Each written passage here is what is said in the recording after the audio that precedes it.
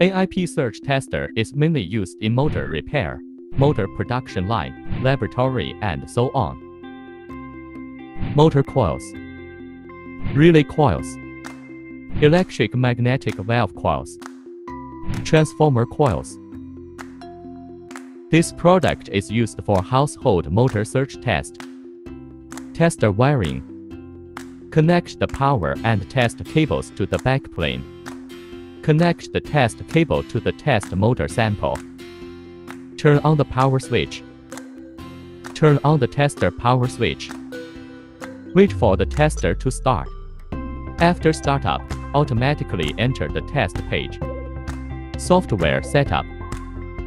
Click on PAR. Click on the blank space under Test Items. Select Surge. Click on Surge and Setup. Set the parameters according to the motor sample to be tested. Click Sample and select the test station. Up to 8 waveforms can be tested. Click Save when the acquisition is completed. Click Test. The testing process. Three routine tests are conducted on the motor, and only one test is used in this video. If you need to know the details, please contact us.